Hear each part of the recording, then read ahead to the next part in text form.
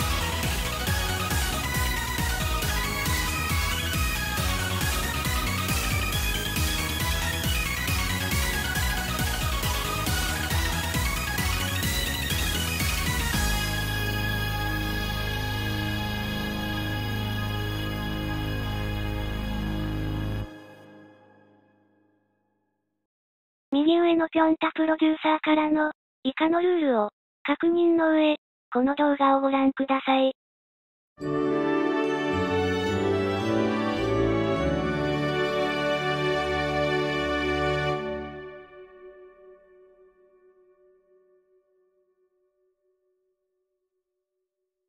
ブルーラブレター、ブルーラブレター、ハーツティアーズでまた何か起きているようですね。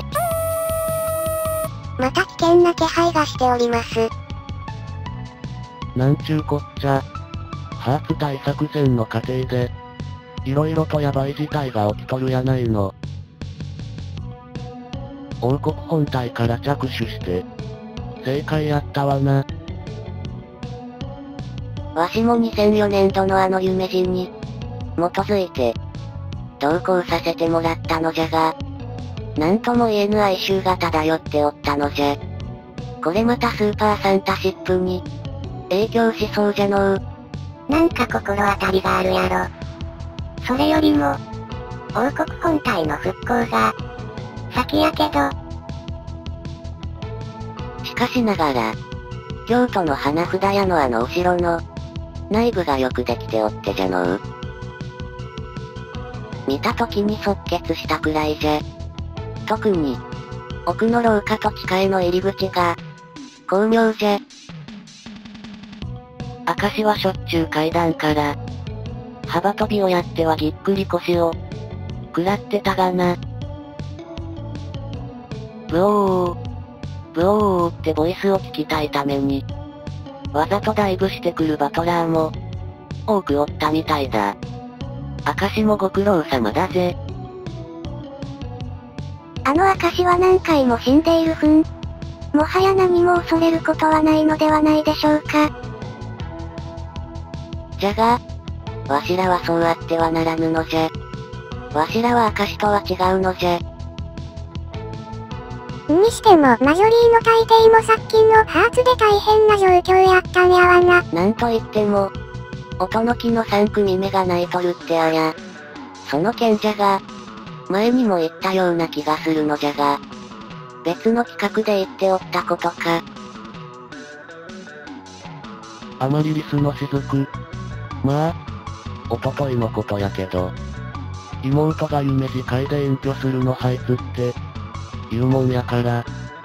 今のところは現役バリバリやからまだ先と、言ってたんやわ。まあ、妹がその音の木の3組目が、ナイトルシナリオの続きを進めたいちゅうてたんやけど。そのことなのじゃろうか。いずれにしても、それで大変じゃった。まるで、2018年度の東京ラプソディみたいでしたよ。その再現がまさかまさかの音の木の3組目で起きようとは確かに音の木の3組目は処刑されたスクスタのために生み出されたもんやからな。そのせいで、こっちの後追いみたいになっているわけですね。禁断の果実をかじってしまったってことはないですね。下手をすれば毒死もあり得ますよ。そんなことやあらへんけど。あの件以来、放浪としてるんやわ。なんとも言い難いのじゃが、早い話、アニメ版に出荷られたのじゃろう。それしかないだろう。京都市交通局のキャラクターみたいなデザインの。それもそれでやけにシュールなもんやで。まあ、処刑されたんは、スクスタのマネージャーちゅうことで、アニメ版によるマネージャーは、スクスタのマネージャーのドッペルゲンガー。見た目が同じだけの似て非なるもんやわ。てか、ノーマルアットとかがおったから、その手のドッペルゲンガーにも、随分と手慣れてるんやわな。アンドユー一味はドッペルの、巣窟やから、俺も徹底的に差別化せなかんのや。あんだけ多くの兵器やら技を、持ってる大きな要因やで。それでもサータンにあっさりと、偽物は飲み込まれていくのが、オチと思われます。てか、王国本体のカラーってこうなってるんやな。間違っても、真っ白ではないのじゃ。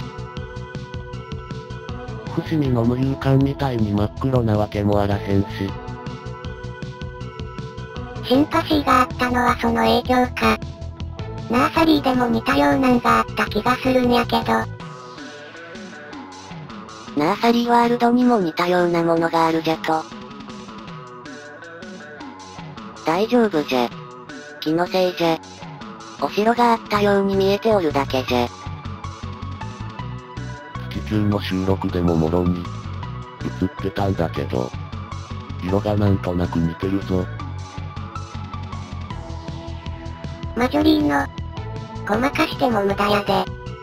今やといろんな情報が、飛んでくるんやし。まあ、ナーサリーワールドの後ろは、ベネクレア王国をヒントに、作ってるから、カラーリングはあれでとっくに、決まってたんやわ。早くも付箋が出てきてたちゅうこっちゃ。とりわけ、あの段階で、復興の準備の糸口ができてたわけやわ。と手の上にあって、てっぺんが間違いなく5階以上あるわけで、その上、エレベーターまで設置されるのか。パルナス界隈だと防犯窓の、設置も義務付けられてるしな。もちろん、それはシースルー構造でも、良いものだ。おそらくそういう構造なんだろうが、今の時代やと後ろにもエレベーターが設置されるんか。これもワシとスタートの体裁を、持って、設置が決定していったものじゃ。京都の花札屋との違いは、センターの吹き抜けの部分に、エレベーターが設置されるところじゃろう。なお、1階に関しては、地下階への入り口などの兼ね合いから、他のフロアよりも広くなっております。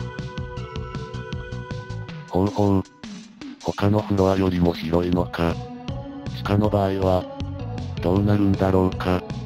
色々と憶測が見られるんだがな。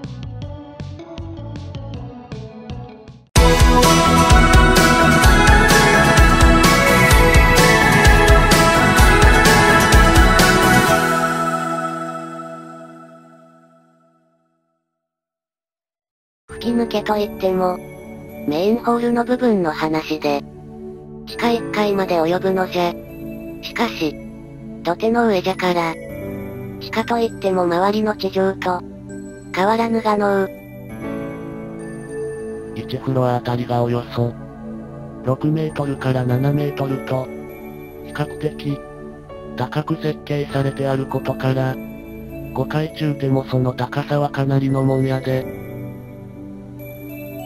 4人乗り16台のゴンドラの観覧車が、だいたい32メートルくらいだから、ベネクレア公園で50メートルクラスの観覧車が、だったとして、それで一番上の部分ならその観覧車よりも、標高が高いだろうな。メインホールは、入り口側じゃから、京都の花札屋の証の、舞台で見られるお城で言えば、1階を除いて同じ場所に、吹き抜けが揃えられる形じゃ。1階に関しては、門番のような部屋が入り口の、左右に設置され、2階の部分でステンドグラスに、面する仕様で工事中じゃ。大型のものが入れるように、入り口は、かなりと大型になっておる。ほうほう。大型の荷物を、出し入れできるように大型化してあるのか。ちなみに、王国本体の上の部分は、プラネタリウムとなっております。忍び星の影響やろうな。下中界の奇跡を映し出すんやろうな。随分と冷静に解釈してるけど、意外性がないってことか。下中界。空がビッグバンを、起こしてもうたんやったら、何かしらの手段で追悼の、意を示すやろ。マジョリーの、だとしても、プラネタリウムでやるってのはどうかと、思うぞ。わ、わしに聞くのか。確かにベネクレア公園がある以上、現地にプラネタリウムを置くのが、良いはずなのじゃが、せっかくの王国じゃ。加えて、ベネクレア王国自体、宇宙戦争で壊滅していったことを、考えると、公園にホイホイ置くのは、あまりにも無残すぎると思わぬか？それに関してはごもっともな話やわ。今でもサータンが遠古人名をまとめてレガールを支配しようと企んでるし、宇宙戦争の奇跡としてプラネタリウムの役割がでかいねや。ベネクレア王国におけるプラネタリウムは、現地での火演奏やサンタシップの開催を想定したものでもあります。おー。火演奏とサンタシップだとこれは、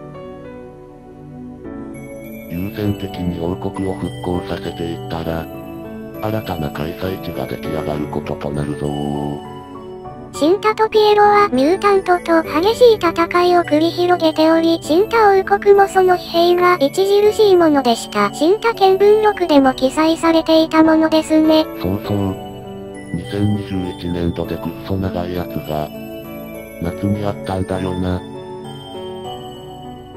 ベネクレア王国がニューロットについて、ベネクレア文字と呼ばれる独自の、言語で遺跡を残してたんだってな。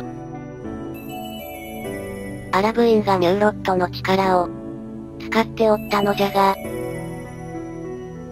トーコやサータンがニューロットの、力を呼び戻しておったのじゃろうかのう。煉獄列伝。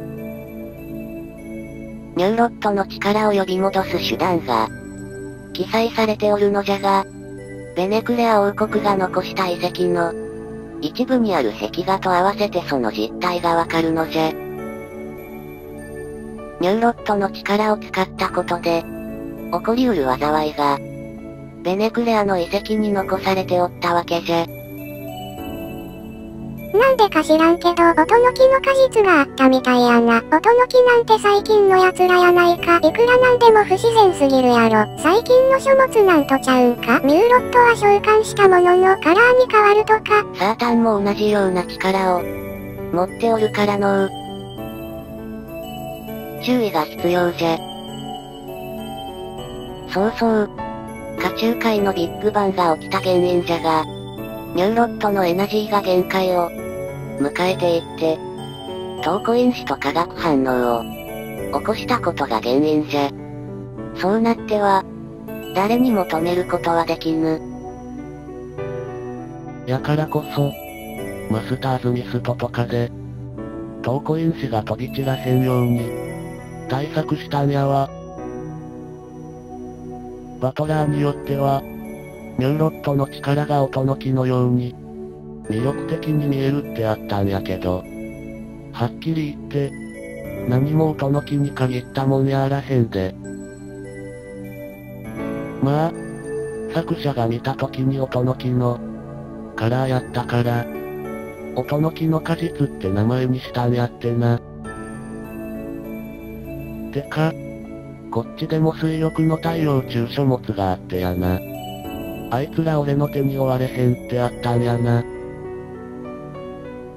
おそらく聖子トレインのことやろうけど、今後、何回も言わせてもらう重要なこととして、俺が女性歌手の君を、NG としてるんは、ナーサリー。同様と明確に区別せなかんからや。特に、某放送局でやってる60年以上の、歴史のある、あの歌番組と J-POP、それにアニソンで、その垣根が曖昧になってるんやわ。その垣根は絶対に出払ったらあかんもんや。聖子トレインで君を連発するみたいな。そんなめちゃくちゃな事態になってまうで。そう言われますと、いけませんね。その垣根は引っこ抜いていてはいけない聖域です。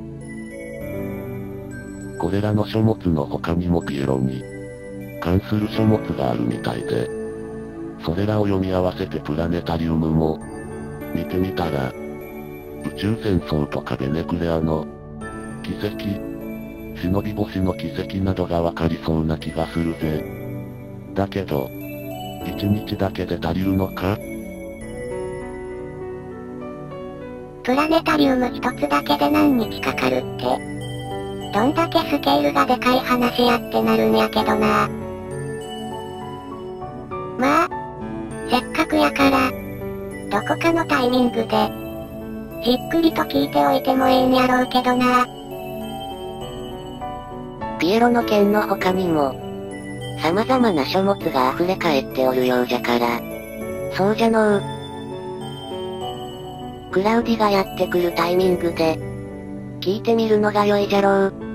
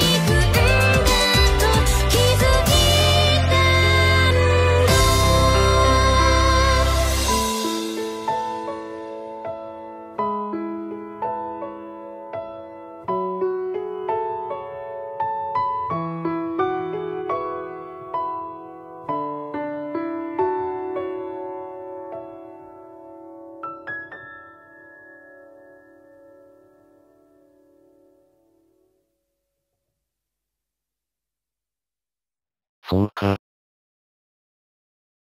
書物が残ってたのを、プラネタリウムにつなげるつもりだったのか。なんか色々と訳があるっぽいわな。クラウディもあまり聞きたくなさそうやし。スーパーサンタシップの時やったら、音の木の3組目の剣もあるからいけそうやで。ハーツにも繋がりそうなこの流れ。どう反映されるんやろうか。